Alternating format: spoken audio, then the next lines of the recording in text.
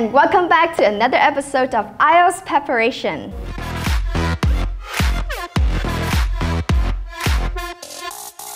Hello, xin chào mừng tất cả các bạn đã quay trở lại với một tập nữa cùng cô Jenny trong chuỗi bài giảng IELTS Preparation.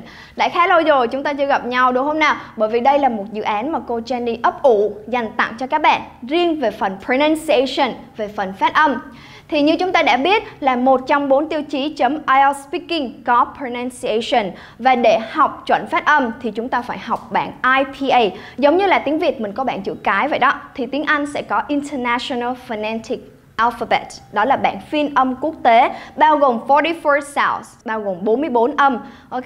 Vậy thì các bạn cần chuẩn bị cho cô. Thứ nhất là một cái gương để bàn. Ok? Một cái gương để bàn để chúng ta nhìn vào miệng của mình khi mà chúng ta phát âm. Thứ hai, đó chính là chuẩn bị hai ngón tay và cuối cùng đó là mình hãy hạ tông giọng của mình xuống 1 đến 2 tông để phát âm nghe cho tay hơn. Ok? Vậy thì bây giờ chúng ta hãy cùng bắt đầu bài học ha. Let's get started.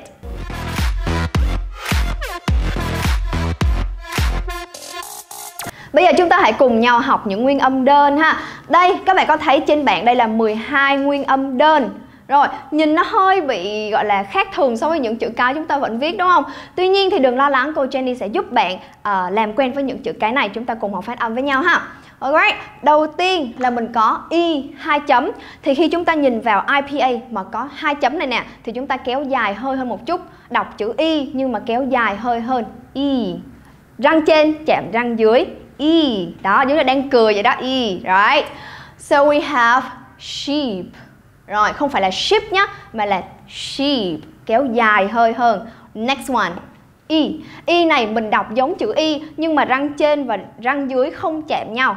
E E okay, let's see my mouth. E. So we have ship Ship Alright, so ship is different from sheep Alright? Âm tiếp theo chúng ta sẽ có từ U. Ok, chữ này là chữ U ha. Nhưng mà không có dấu hai chấm nên chúng ta sẽ đọc ngắn âm hơn. Ừ, ừ. Răng trên và răng dưới không chạm nhau. Ừ, ok. So we have good. Ừ, good. Next one. Đây là chữ U dài. Mình kéo dài hơi ra một chút. U U. Các bạn biết cái kiểu chụp hình selfie mà dơ cái máy lên xong rồi chu mỏ lên đó. Cho chúng ta làm y chang như vậy. U U. So move move. Đó kéo dài hơi ra. Move. Và các bạn ơi, từ này đến giờ các bạn có đang chú ý đến cái gương mà lúc nãy cô Jenny nói các bạn chuẩn bị không ta? Đó, bây giờ mình lấy cái gương đó ra ha. Mình để trước mặt của mình. Làm sao mà mình vừa phát âm Vừa nhìn vào miệng của mình trong gương? Làm sao mà cho bắt trước giống nhất cái khuôn miệng của cô Jenny? Ok, giống như là chữ U này thì miệng của mình phải trứng chiếm, phải chu lên. Đó, còn chữ Y này thì mình phải cười ra Nghe răng cười ra. Đó, Y. U. Ok Tiếp tục học với cái gương nha. Rồi chữ E này quá đơn giản đúng không nào? Trong tiếng Việt cũng có E. So we have pen. Yeah pen. Tiếp theo là chữ E viết ngược đúng không? Chữ E viết ngược đọc là Ờ Ờ giống như âm ơ trong tiếng Việt vậy đó. Thì tiếng Anh mình sẽ có E viết ngược đọc là Ờ Like um, agree chẳng hạn Right? Agree. Đó mình sẽ đọc là Ờ Agree. Next one. À, đây là số 3 đúng không nào? Số 3 xong có dấu hai chấm Thì đương nhiên rồi trong dấu hai chấm chúng ta sẽ kéo dài hơi ra đúng không? Và đây cũng là một chữ E khác đó mọi người So we have er Er Like um, girl Girl or con chim là gì nhỉ? Là bird đúng không nào? Vậy thì cái chữ er đó nó hơi cong lưỡi một chút ha Er Er So we have um, bird chẳng hạn rồi, mọi người có đang tiếp tục nhìn vào gương không ta? Rồi tiếp tục nhìn vào gương cho cô chữ này nha. Chữ này là âm O và có hai dấu chấm là mình phải kéo dài hơi ra đúng không nào? So, or, or, or, ok? Nhìn vào miệng nha, nhìn vào miệng cái khuôn miệng của mình phải tròn nè. Or, or, like door, ok? Door. Khi mà mình đọc chữ door thì miệng của mình phải tròn lên đúng không? Next one. Đây là một chữ khá là đặc biệt, đó là chữ E ghi như thế này. Có nhiều bạn sẽ nhìn ra là chữ X chữ X viết hoa. Có nhiều bạn sẽ nhìn ra là chữ E bướm. Ok, vậy thì cô Jenny sẽ gọi đây tạm gọi là chữ E bướm ha. Trong chữ E bướm này các bạn sẽ đọc hơi nghiêng về âm A một chút ha. À, à, à Nó vẫn có chữ E trong đó nhưng mà âm A nó chiếm 80% À, like um, bản đồ là sẽ là map Right? Ví dụ như là map hay là xấu á, thì chúng ta sẽ có bad ok? Bad rồi. Tiếp theo đây là một chữ giống như là dấu ớ của tiếng Việt đúng không? Dấu ớ của tiếng Việt hay còn gọi là âm này nè. Đó âm a có dấu ớ. Thì trong tiếng Anh cũng vậy chúng ta có những từ như là cup cup ok? Từ cup từ cup hoặc là từ up thì chúng ta đọc là âm ớ trong tiếng Việt luôn. Alright so cup right? Tiếp theo đó là chữ a mà có hai dấu chấm thì chúng ta sẽ kéo dài hơi ra hơn một chút. Ví dụ như là a a. Giống như chữ a tiếng Việt luôn mình sẽ có car. Và từ cuối cùng đó là chữ A viết ngược. Chữ A viết ngược này để phòng tránh những bạn nhầm lẫn với lại chữ O. Ví dụ ha, ok, um, for instance, on chẳng hạn. Ở trên á, on Thì chúng ta sẽ không đọc là on, on Tròn âm O luôn mà chúng ta sẽ đọc là on. On Hơi nghiêng một chút về chữ A ha On Giống như là từ uh, cà phê vậy đó Chúng ta sẽ không đọc tròn luôn là coffee Coffee Mà hơi nghiêng về chữ A viết ngược một chút Đó là coffee coffee, ok?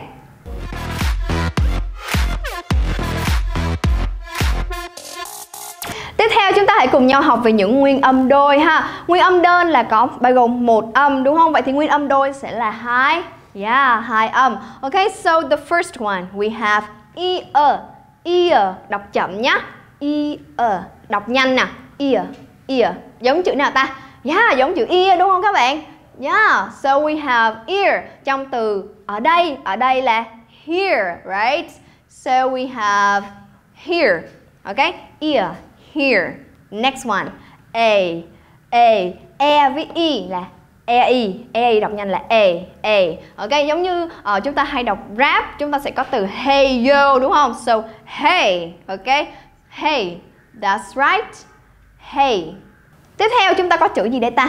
Ua ur ok đọc nhanh là ur đúng không nào ur trong từ gì nhỉ từ chắc chắn chúng ta là yeah sure hoặc là một từ nữa nói về du khách yes đó là tour tourist right so for example tourist ok âm này giống như là âm ua trong tiếng việt đó ha ua ok next one tiếp theo là chữ o và y đúng không nào o là oi oi For example, con trai tiếng Anh là gì các bạn ơi? Yeah, boy, right? So, boy. Oi, boy. Next one. Đây là chữ gì đấy ta? Ơ, u. U. U. For example, giống như là chữ um, chữ O á. Đó, giống như là chữ O. Khi mà mình ngạc nhiên chúng ta sẽ nói là Oh, oh, yeah, dạ, oh, right? For example, go. ok go các bạn lưu ý nha chữ này các bạn thường đọc là âm o này nè đó o thì mình sẽ đọc là go thôi đúng không tuy nhiên thì cô muốn các bạn đọc chữ này đó là o o go ok không phải là o mà là o ok next one đây là từ e e e đọc hơi nghiêng cho cô về chữ e nhá đọc nhấn mạnh chữ e nào? e e like um, tóc chẳng hạn so tóc we have hair hair. So for example, hair. Okay. Next one. Oh, từ này thì quá dễ rồi. A với lại Y thì sẽ đọc là I đúng không nào? Nhìn vô cũng biết là chữ này đọc là I. So for example, my của tôi đúng không? My. Yeah. Ok. Tiếp tục, chữ cuối cùng đó là chữ A và chữ U. A với U thì mình sẽ đọc là ow ow giống như là ai đó đang đụng vào người mình mà đụng nhéo một cái thì mình sẽ là ow right? Ow ow like cow. Ok cow là con bò đúng không? So cow ow ok.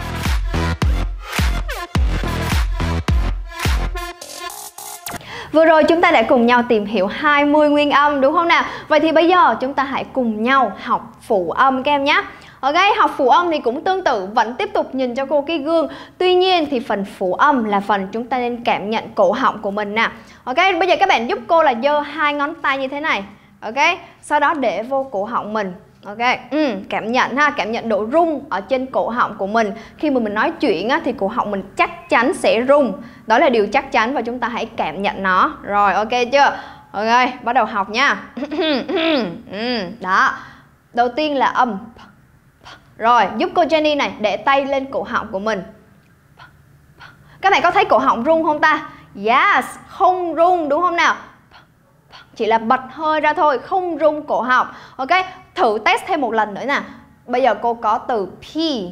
Ok, P, right? Bây giờ mình đặt tay lên cổ họng và mình nói từ P. Xem phần này và phần này, phần nào cổ họng mình rung, còn phần nào không rung nhá. Ok, thử test với nhau nè P, P, right? So, chữ P cổ họng mình không hề rung nhưng mà đến chữ y này nè chữ y dài này nè thì cổ họng mình rung đúng không nào so p đó đó là cách mà các bạn nên dùng để học phần phụ âm. Ok tiếp theo từ b. Ok b thì mình hãy nhấn mạnh giúp cô. B cho ra b mà p cho ra p. Ok b b like book. Book nhấn mạnh giúp cô nha. Book right? Để học hai âm này á các cô có một từ dành cho các bạn mà các bạn có thể dùng để luyện tập bởi vì từ này cực kỳ dễ lộn luôn. Đó là từ ba lô ờ, à, cô sẽ ghi ở đâu đây ta? À, đây đi. Ok. Đó là từ backpack. Đó backpack. Ok. Back mình nhấn trọng âm xuống còn từ pack này mình để nhẹ thôi. Backpack. Ok backpack. Right. Rồi tiếp theo đến từ t này nè. Để tay lên cổ họng tiếp. Không rung đúng không nào? Alright so for example thời gian là gì ta? Dạ yeah, thời gian tiếng Anh là time right? So time. Chữ T không hề rung nhưng mà chữ arm này lại rung nha time. That's right. Đó. Tiếp theo đến một chữ đó là chữ d. D. Để tay lên cổ họng nè. D. Có rung không ta? Yes or no? Yeah cổ họng mình rung đúng không nào? So d. D. Like uh, for example door chẳng hạn. Door. Ok? Door. Vậy thì các bạn nhớ cho cô nhé chữ màu đen trên bảng của cô đó là những chữ mà cổ họng mình sẽ không rung hay là không bật hơi ra bên ngoài Tuy nhiên những chữ màu đỏ sẽ là những chữ mà cổ họng mình cần phải rung mà mình cần phải nhấn mạnh xuống. Ok, ví dụ như p và b. Ok. Tiếp theo là từ cổ họng không rung nhé, chữ màu đen là không rung. Ok, like for example photo. Alright, photo. Photo. Rõ ràng là chữ O với chữ tone này rung thôi. Photo. Ok, được chưa? Vẫn tiếp tục để là tay lên cổ họng nè. V, right? V, v cổ họng mình rung hơi mạnh một chút v v like ok um, for example um, vice chẳng hạn ok vice vice next one. Đó hai âm này là hai âm cực khó mà hầu hết là các bạn Việt Nam đang gọi là triple đang struggle với hai âm này. Nên các bạn hãy chú ý cho cô đặc biệt vào hai âm này nha. Rồi âm đầu tiên đó là âm Ok, đầu tiên nè, bình tĩnh, bình tĩnh, bình tĩnh. Đầu tiên là chúng ta sẽ đưa lưỡi ra bên ngoài. Được chưa?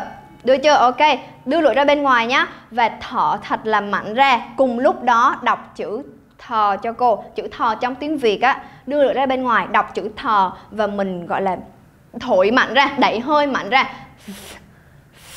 Đó. Nước miếng văng ra ngoài cũng được, không sao hết Cái này mình đang luyện tập phát âm mà. Được chưa? Đó chữ màu đen là không không rung họng đúng không? Rồi làm lại nè. Đó. For example think. Ok. Think. Think. Đó đọc chữ sờ cùng lúc là rung họng thổi hơi ra bên ngoài ok ha? Think. Rồi. Tiếp theo, đó là chữ này đây. Chữ này rất là dễ nhầm với cái âm này Bởi vì cũng bắt đầu bằng chữ TH luôn. Tuy nhiên thì cách đọc lại là hơi giống chữ đờ trong tiếng Việt một chút Chữ đờ Rồi các bạn giúp cô Jenny đưa lưỡi ra bên ngoài Đưa lưỡi ra bên ngoài ha. Đọc chữ đờ Đọc chữ đờ nhá. The The Thêm một chút nữa nè. The Nhưng mà cái cái cái cái cái cái âm của mình nó rung. The The Rung ha. The The Ok? The Mạnh vô. The That's good. Ok For example we have this. This. Đó vừa đọc chữ the vừa rung vừa nhấn mạnh. This. Nhớ là các bạn phải đưa lưỡi ra bên ngoài nha. Đọc tiếng Anh là phải đưa lưỡi ra bên ngoài ok? Rồi bây giờ đọc chữ này cho cô nè. Màu đỏ là họng của mình phải rung đúng không nào? Mm, mm, mm, right. For example um, my chẳng hạn okay. mine mine mine. Các bạn có để ý âm cuối không? Âm cuối là ừ, ừ, chữ n đúng không? Ừ. âm đó đó là âm tiếp theo. Chữ n đó chúng ta hãy đưa lưỡi lên trên cái vòng họng ở trên của mình á. Đó các bạn thấy lưỡi đưa lên vòng họng trên.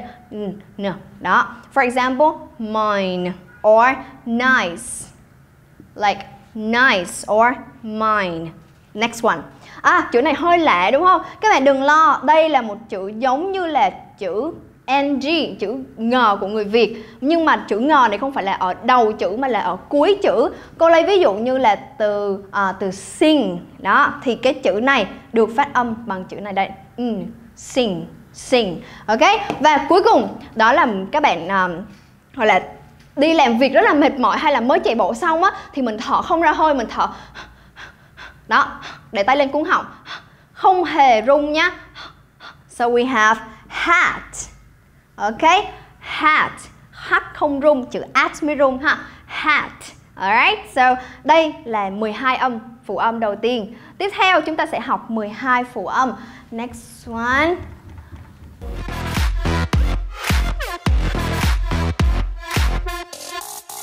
Và cuối cùng hãy cùng cô Jenny tìm hiểu nốt 12 phụ âm trong bảng IPA ngày hôm nay.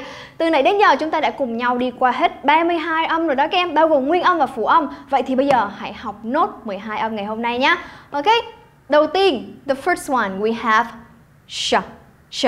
Ok, sh giống như là từ um, cheese á, khi mà mình chụp hình mình hay có hiệu lệnh là cười lên là cheese đúng không nào? Vậy thì chữ chờ này Alright, so chữ chờ này sẽ không đọc là cheese, sẽ không đọc là chờ cheese nhé Mà hãy bật hơi lên và hơi một chút chữ S ở trong đó. Hơi một chút chữ CH, chữ chờ ở trong đó. Ok, đọc là ch, ch, cheese cheese. Ok cười lên ha smile. Ok giống như là giáo viên đúng không? Là teacher không phải là teacher không phải là teacher nha mà là teacher ch. Ok teacher. Alright. Next one đó là âm j. J. Ok, âm này uh, các bạn phát âm cho cô giữa chữ giờ, chữ z và nó nặng hơn một chút, mình làm cho nó nặng hơn là j. Ok, j như là trong từ jacket. Jacket, ok? Jacket. Uh, like for example, jacket. Ừ, nặng hơn ha. Next one, nhẹ hơn không không rung họng nhé vẫn tiếp tục để giúp cô hai ngón tay lên cổ họng nè. Like um, key key chìa khóa hoặc là like like ok? Uh, like for example final sound sẽ không rung họng like ok? Rồi từ này khá là dễ rồi đúng không nào? G g thì mình có từ go hoặc là từ garden ok? Garden là khu vườn đúng không? Ok từ này cũng dễ luôn là để tay lên cổ họng sẽ không thấy rung ha. Like um, sorry của Justin Bieber đúng không nào? So sorry. Alright, so sorry. Sorry. Rồi, tiếp theo đến âm z, z là họng của mình phải rung nhá. Z, z like uh, sở thú đi là zoo. Zoo, right? So zoo. So z. z Ok. Tiếp theo, chữ này hơi khó một chút nè. Khi mà các bạn muốn ai đó im lặng thì chúng ta thường nói gì ta? Shh đúng không nào cô đặt tay lên miệng cho cô. Đó thì cái chữ sờ đó trong tiếng Anh chúng ta có âm này đó là âm của từ she. She she. Và màu đen là như thế nào ta? Màu đen là không rung họng đúng không? Sh, sh. so she hoặc là một từ nữa mà cô thấy các bạn đọc sai rất rất nhiều đó là từ này đây. Đó là từ đường. Sugar sugar. Không phải là sugar nhá mà là sugar sugar chữ s. Rồi tiếp tục. À, âm này các bạn thấy hơi giống giống âm nào trong đây ta? Đúng rồi hơi giống âm này đúng không nào? Tuy nhiên thì nó thiếu mất chữ d nên mình sẽ đọc nhẹ hơn. R r đọc nhẹ hơn một chút nhá r. À, các bạn nào đang xem video đi xem vision không ta? Đó thì cái vision vision chúng ta sẽ đọc thành âm này đó là vision. Television or vision nhẹ hơn âm này một chút ha. Ok, rồi tiếp đến một âm mà cô gọi là rất là tranh trở khi hướng dẫn cho các bạn Việt Nam Đó là các bạn không chịu đưa lưỡi ra ngoài Đọc từ này là phải đưa lưỡi của mình ra ngoài L, l, like, like, like Ví dụ như các em muốn nói là tôi yêu một ai đó đúng không? Thì mình sẽ có từ gì đây ta? Từ love mà không phải đọc là lớp nha. Lớp giống như lớp học của Việt Nam vậy đó. Mình để cái lưỡi bên trong là mình đã bị giảm bớt cái độ hay rồi mình đưa lưỡi ra ngoài. Là love nhẹ nhàng thôi. Love hoặc là like like. Rồi bạn nào chưa đưa lưỡi ra ngoài thì đưa ra ngoài giúp cô nhé like love very good. Rồi um, đây âm này là âm mà một uh, người em họ của cô ở Mỹ nói là người Việt Nam gọi là khó phát âm nhất và hay phát âm không chuẩn với giọng Mỹ nhất. Và bản thân cô cũng thấy vậy nữa đó là âm R R R. Phải vừa đọc gọi là tròn lưỡi tròn khuôn miệng mà phải vừa cong lưỡi lên. R R R. Ok các bạn cùng đọc theo cô nhé. R that's right. Trong từ gì nhỉ à từ right đúng không nào? Right. Next one, đó là âm W. W này, nếu như bạn nào mà người miền Nam á, người miền Nam thường đọc chữ quờ thường đọc chữ quờ thành âm này. Ví dụ người miền Bắc có chữ đi qua đúng không? Đi qua thì người miền Nam sẽ đọc là đi qua đi qua. So wow wow wow like wow ok? Wow trong từ uh, white đi ha ok? So white wow, wow. Rồi, âm cuối cùng đó là âm hơi giống âm J đúng không nào? Nhưng mà không phải đọc là J đâu ha. Chúng ta sẽ đọc âm này giống cái chữ yeah. Yeah, yeah. So for example, you or yes. You, yes, right? You or yes Gần giống với chữ uh, nhờ của tiếng Việt á Nhưng mà gọi là hơi nhanh hơn một chút Yeah, yeah, yes, yeah Ok, vậy đó là 12 phụ âm còn lại.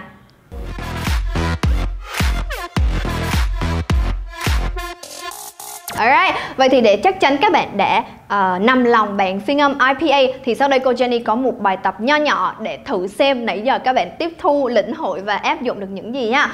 Alright, đầu tiên là cái gì đây nhỉ? Giờ đúng không? Giờ trong chữ nào ta? Trong từ jacket lúc nãy cô Jenny vừa hướng dẫn xong Âm E bướm đọc hơi hướng theo âm A đúng không? Vậy thì chữ đầu tiên chúng ta có từ J, âm A và K thì sẽ là Jack. Jack, right? Mình đoán từ thôi, cái này mình đâu biết nó là chữ gì đâu. Mình sẽ đoán trước âm đầu tiên là Jack. Tiếp theo, uh, chúng ta có chữ fr, alright? Rồi âm U dài, U dài thì sẽ không đọc là fruit mà sẽ đọc là fruit fruit, hạ giọng xuống và kéo dài hơi ra là fruit. So, từ đầu tiên cô mạnh dạn đoán là jackfruit jackfruit right? Jackfruit có nghĩa là trái mít đó các em. Trái mít đó là jackfruit ok? Tiếp theo ha, từ này là từ gì đây ta? Có bạn nào đoán được cho cô comment bên dưới nhé so, we have p. P, rồi âm y dài và chữ này là ch. Ch trong từ cheese, mà lúc nãy cô nói các bạn cười lên đó, cheese đó rồi so pitch. Pitch đọc nhẹ hơn chậm hơn và kéo dài hơi ra chúng ta sẽ có từ peach. Peach right? So uh, P spell it for me. P E A n ch is C H right? So peach. Peach có nghĩa là quả gì đây ta? Yeah quả đào đúng không nào?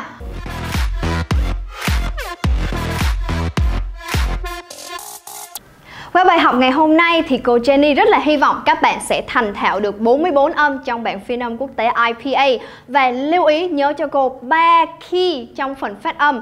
Kỳ thứ nhất đó là hãy dùng cái gương soi để mình có thể vừa phát âm vừa nhìn miệng của mình. Khi thứ hai đó là hãy dùng hai ngón tay và đặt lên cổ họng để cảm nhận độ rung của cổ họng ha. Và khi cuối cùng đó là hãy hạ một đến hai tông giọng, hạ voi xuống để phát âm cho tây hơn. Alright, vậy thì cảm ơn các bạn đã xem bài IELTS Preparation ngày hôm nay. Và nếu như các bạn thắc mắc gì về phần pronunciation thì hãy giúp cô comment bên dưới ha. Và hẹn gặp lại các bạn ở những tập tiếp theo. So see you and thank you for watching. Thank you